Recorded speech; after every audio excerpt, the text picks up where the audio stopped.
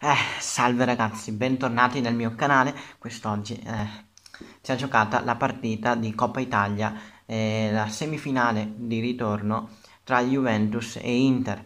Allora, 0-0 eh, nel complesso, allora eh, passa la Juventus perché eh, aveva vinto 2-1 l'andata e quindi di conseguenza passa la Juventus di Pirlo. Su Pirlo, calmi, mi devo ricredere. Avete ragione, comunque che sì, comunque Pirlo sta facendo una buona stagione, cioè era partito non benissimo, poi era arrivato per un attimo un po', eh, cioè non dico crisi, però insomma stava, stava, c'era un periodo che stava andando male, poi dopo le vacanze appunto natalizie si è ripreso e veramente secondo me... Mh, cioè, eh, secondo me la Juventus è favorita intanto per vincere questa Coppa Italia. Allora, Juventus che è partita, eh, diciamo, subito eh, con un atteggiamento un po' più difensivo, dato che appunto eh, era, cioè, l'Inter doveva segnare due gol per passare, quindi diciamo che aveva preparato, Pirlo aveva preparato la, eh, la partita insomma, più difensivamente e poi per partire in contropiede, no?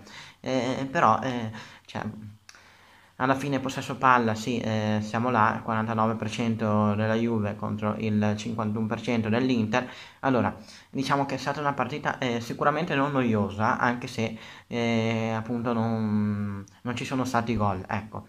N- non tiri proprio cioè, eh, spettacolari da ambe le parti, eh, tranne qualche spunto di Ronaldo che come al solito lui è pericoloso, un grande fuori classe, però diciamo che la differenza tra eh, Ronaldo, il solito Ronaldo che noi siamo abituati, è che quando crea le occasioni, quest'oggi, eh, cioè quest'oggi appunto ne ha sprecate molte.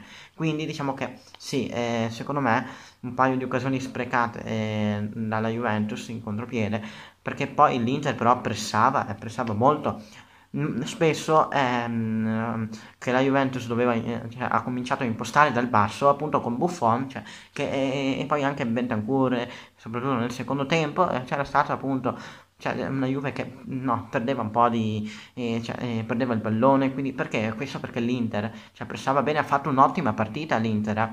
cioè, eh, diciamo che la Juventus però ehm, un po' contro la Roma no? aspettava un po' la appunto aspettava e, ehm, appunto l'Inter per, per così poi eh, sfondare qualche contropiede micidiale ecco. Dato che i velocisti ce li ha però poi eh, quest'oggi una partita comunque mh, mm, bella dai ricca eh, di occasioni interessanti ecco. Secondo me la, la Juventus ecco, può vincere questa, eh, per, eh, questa Coppa Italia dato che adesso sarà in finale contro la vincente di domani che farò sicuramente il post partita di eh, ovviamente intendo tra Atalanta e Napoli.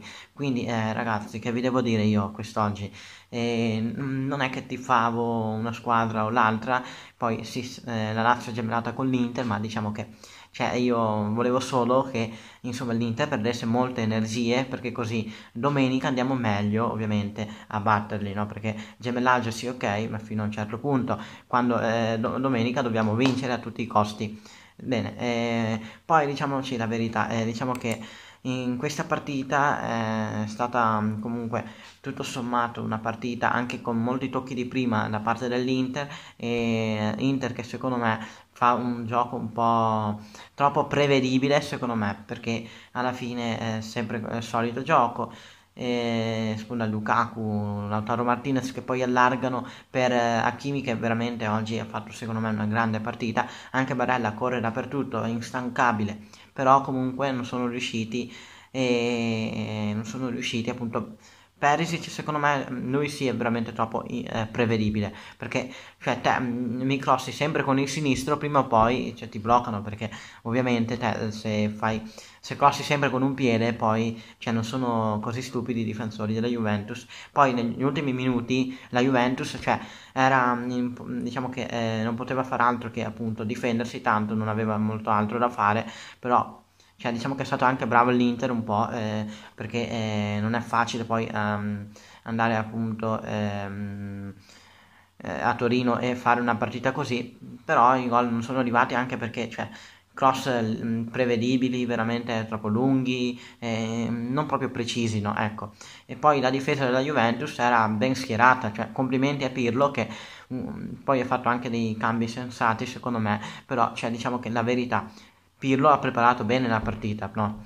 Cioè, eh, veramente qualche tiro, mm, però mm, sinceramente non, non mi ha mai dato l'Inter la sensazione di poter segnare molti gol perché alla fine poi soprattutto appunto ripeto negli ultimi 20 minuti più o meno eh, c'è stata una difesa della Juventus per tutta la partita una grande difesa. Poi però quando è entrato anche Giorgio, Giorgio Chiellini veramente c'è stata cioè hanno schierato la Corriera no, davanti non il pulmino come siamo abituati a dire ecco. Eh, e quindi con questo e la, eh, poi la Juventus e avrà una sfida importante in campionato, però anche noi ovviamente. E detto questo, concludo qua il video. Ah, iscrivetevi al canale, mannaggia, cioè, molti di voi, cioè quasi il 50% eh, che guardano i miei video non sono iscritti, quindi che aspettate ad iscriversi? Cioè, ad iscrivervi non, non, non, non, capisco, vabbè.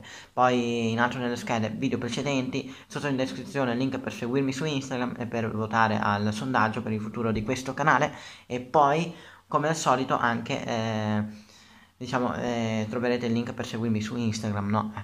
diciamoci che eh, due parole un attimo sul comunque sul gioco eh, in generale che eh, l'Inter mm, diciamo che mi è piaciuta a tratti anche se il gioco ripeto troppo prevedibile. Lautaro Martinez anche Lukaku sì però non riuscivano a fare molto per stramerito della difesa della Juventus perché eh, quest'anno veramente Pirlo secondo me sta facendo bene.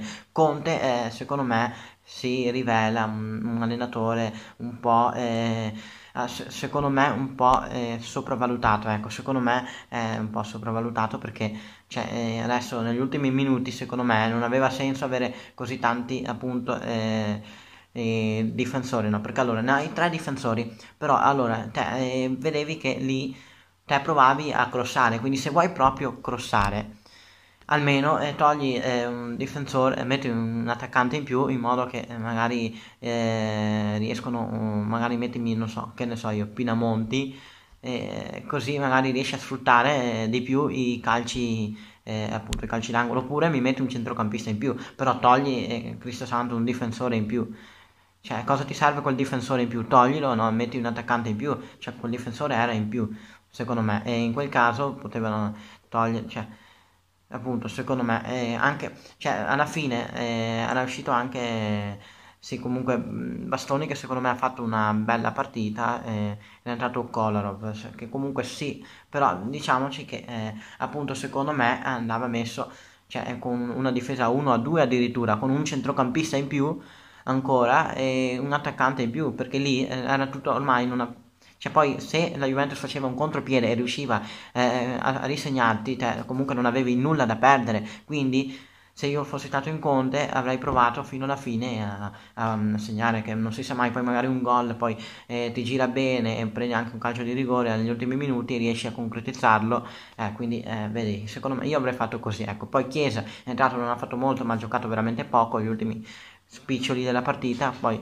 Perisic l'ho già detto, comunque il mio, quindi ecco, detto questo io vi saluto, da Marco Sport 41 è tutto e ci vediamo con un domani con eh, il post partita di Atalanta e Napoli, eh, semifinale di ritorno di Coppa Italia che eh, deciderà chi eh, sarà la sfidante appunto eh, della Juventus in finale di Coppa Italia. Arrivederci e buona serata.